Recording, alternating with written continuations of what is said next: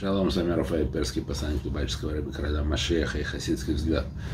Слышал одну историю, замечательную историю, и, которая действительно не освещена никакими видео э, доказательствами, потому что наши солдаты находятся в секторе газа без э, телефонов.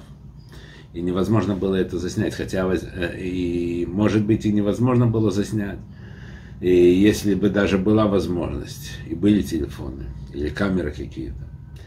Но эта история передается, эти солдаты позвонили домой своим родственникам, и эти родственники, э, достоверные источники, передают историю, как солдаты встретили ангела, который их спас. Ангел – это посланник Всевышнего. Понятно, что Всевышний их спас. Они были на рейде – искали э, дом, они должны были зайти в дом, где есть туннель. В этот туннель они должны были спуститься, потому что была, э, значит, по разведданным, э, возможность нахождения там э, евреев, которых взяли в плен. Они зашли в этот дом. Офицер и еще несколько солдатов спустились в этот тоннель.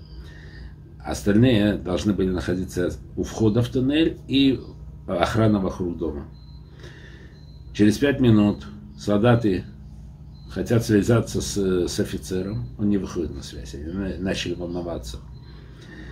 Через какое-то время, 2-3 минуты, вдруг они видят старика, старика, старца в белой одежде, с бородой. И этот старец им говорит, уходите отсюда, на иврите, уходите отсюда, здесь опасно. Они говорят ему, а кто вы такой? Он им ничего не отвечает. Он продолжает говорить, выходите отсюда, здесь опасно. Тогда солдат один говорит, мы не можем оставить. Наш командир и еще несколько солдатов зашли в туннель, мы не можем оставить их здесь. Он продолжает, этот старик, уходите отсюда, здесь очень опасно. Солдаты не знают, что делать.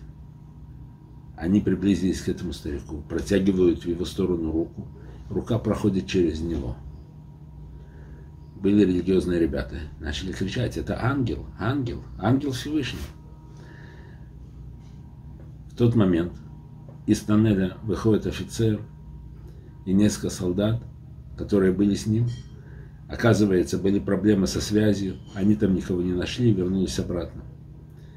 И тут они понимают, а, а этот э, старец продолжает говорить, уходите отсюда, здесь опасно. Они рванули из этого дома со страшной силой, все разбежались, выбежали на улицу, отбежали в буквальном смысле метров 20, как раздался огромный-огромный взрыв. И они поняли, что это был ангел, который послал Всевышний, чтобы им, э, их спасти. Они рассказали эту историю своим родителям, по телефону потом, когда у них была эта возможность. А родители уже передали эту историю нам, чтобы мы об этом знали. Это не э, история не э, транслируется по, по крупным видеоканалам, телевизионным каналам, но мы должны ее знать. Так оно и есть. Эти случаи были. Были случаи, когда в Ливанскую войну видели женщину, всю в черном, и думали, что это арабка. И она обратилась к солдатам что то же самое, не заходите в этот дом, не заходите в этот дом. Они увидели, что эта женщина, у нее благородное лицо. И потом этот дом взорвался. И когда делали и думали, кто это был, решили, что это была про, мать, про матери Рахель. Да? Рахель Мейну. То есть случаются чудеса. Поэтому мне хотелось, поэтому по этой истории написать балладу музыкальную балладу, которая рассказывает трогательно, действительно, как Всевышний бережет наших солдат. И надо молиться, чтобы все, все наши солдаты вернулись живыми. Чтобы, не дай Бог, ни один еврейский солдат не погиб. Хотя, к сожалению, происходят вещи эти. Дай Бог, чтобы в скором времени пришел Машех, и было полное окончательное освобождение Ихеду, Нейну, Мурейну, Рабейну, Мелаха Машех, людям А сейчас баллада о ангеле.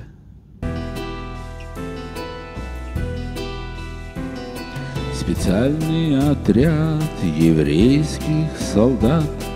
В рейде по сектору газа идут Проверить им нужно террористов в тоннель. Найти след похищенных целей. Вот этот дом, никого нету в нем Осталось проверить. Туннели, пойдем. Трое за мной офицер сказал. Остальным охранять приказал. Прошло пять минут, на связь не идут. В душе от волнения кошки скребут. И вдруг мы услышали голос чужой Старец в белом стоит за стеной.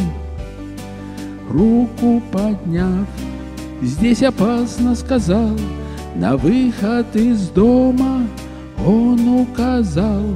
В тоннеле, ребята, мы не можем уйти Старик к нам хотел подойти. Протянув старцу руку, рука прошла сквозь него — а он продолжает говорить все одно. Опасно здесь быть, уходите быстрей Это ангел Бога среди людей.